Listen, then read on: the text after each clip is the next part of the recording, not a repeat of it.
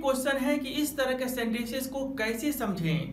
जहाँ लिखा होता है it is a burning car या it is a burn car या this is a broken chair this is a boiled egg this is taken food या this is falling water तो आइए इस कंसेप्ट को भी समझें। यहाँ पर आप दो एग्जाम्पल्स देख सकते हैं।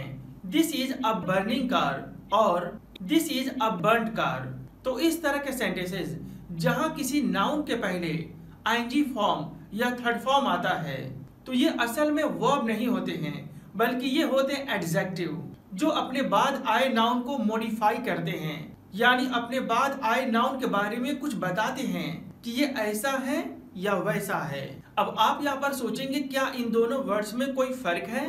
तो मैं आपसे कहूँगा हाँ जिस वर्ड में आईएनजी लगा है, उसका मतलब होता है ता हुआ, यानी ऐसे वर्ड से काम का जारी होना का पता चलता है।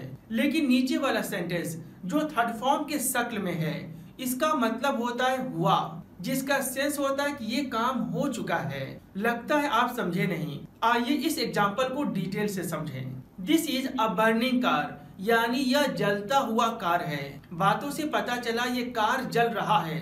अभी जलने का काम जारी है। इसीलिए मैंने बोला, यह जलता हुआ कार है। लेकिन अगर कंडीशन ऐसा हो कि कार जलकर खत्म हो गई है, यानी कार पूरी तरीके से जल गई है और आग बुझ चुकी है तो वहाँ पर आप कहेंगे this is a burnt car यानी यह एक जली हुई कार है। तो जब आपने बोला बर्ड कार तो उसका मतलब हुआ जली हुई। यानी जलने का काम खत्म हो गया है।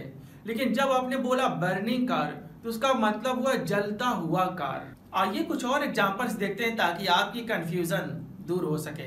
This is a boiling egg और दूसरा एग्ज़ाम्पल है।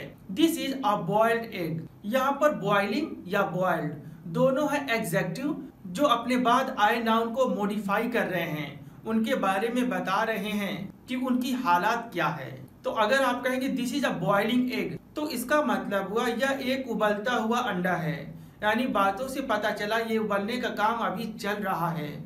अभी भी वो अंडा उबल रहा है। लेकिन अगर आप कहेंगे this is a boiled egg तो इस सेंटेंस का मीनिंग हुआ, यह उबला हुआ अंडा है। यानी यह अंडा उबल चुका है। जो उबलने का काम था, वो खत्म हो चुका है। अगर आपको कहना हो कि मैं गिरता हुआ पानी देख सकता हूँ तो इस सेंटेंस के लिए आप कहेंगे I can see falling water लेकिन अगर आपको कहना हो कि मैं गिरा हुआ पानी देख सकता हूँ तो इस सेंटेंस के लिए आप कहेंगे I can see fallen water यानी मैं गिरा हुआ पानी देख सकता हूँ। तो अगर आप इन दोनों सेंटेंस पर गौर करेंगे तो आप पाएँगे, जब आपने बोला फॉलिंग वाटर तो उसका मीनिंग हो रहा था, गिरता हुआ पानी. यानी पानी अभी भी गिर रहा है, वो काम अभी भी जारी है। लेकिन अगर आप कहेंगे फॉलन वाटर तो उसका मतलब होता है गिरा हुआ पानी, यानी वो पानी ज़मीन पर है, जो पहले का गिरा हुआ है। तो फ्रेंड्स उम्मीद करता हूँ कि आपने इन सभी कंसेप्ट को अच्छा से सीख लिया। यहाँ मैं बता दूँ, अगर आप इंग्लिश में फ्लुएंट होना चाहते हैं तो आप मेरे एप्लीकेशन को इंस्टॉल करें, जिसका लिंक मैंने डिस्क्रिप्शन में दिया हुआ है। फिर मिलेंगे कुछ और अच्छा लेसन के साथ। तब तक के लिए बाय